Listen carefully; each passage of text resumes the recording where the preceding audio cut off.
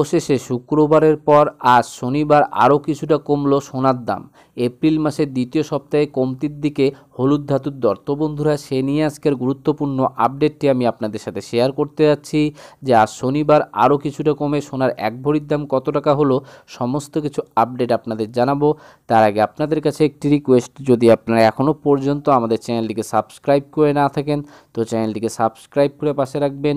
ভিডিওটি ইনফরমেটিভ মনে হলে অবশ্যই প্রচুর লাইক শেয়ার করতে ভুলবেন না।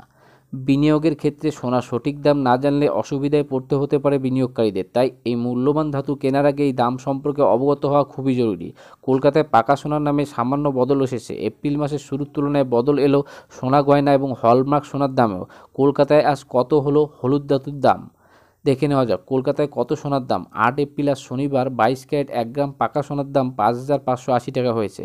বাইশ ক্যারেট দশ গ্রাম পাকা সোনার দাম দাঁড়িয়েছে পঞ্চান্ন হাজার আটশো টাকা এবং বাইশ ক্যারেট আট গ্রাম সোনার দাম হয়েছে চুয়াল্লিশ হাজার ছশো আশি টাকা এবং বাইশ ক্যারেট একশো গ্রাম সোনার দাম হয়েছে আর শনিবার প্রায় পাঁচ লক্ষ আটান্ন হাজার টাকা।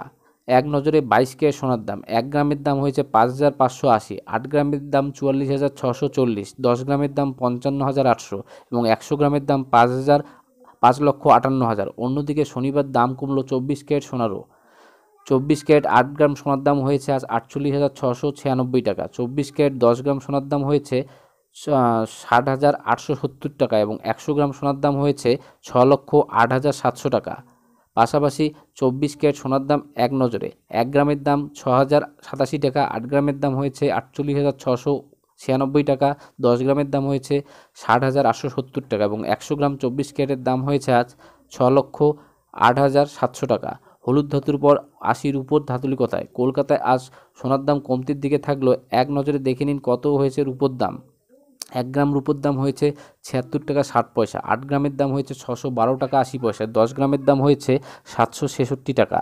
পাশাপাশি একশো গ্রাম রূপোর দাম হয়েছে সাত হাজার ছশো ষাট টাকা। তো বন্ধুরা, এই ছিল এই মুহূর্তে সোনার উপর মার্কেট প্রাইস নিয়ে উঠে আসা লেটেস্ট আপডেট যেটি আমি আপনাদের সাথে শেয়ার করলাম।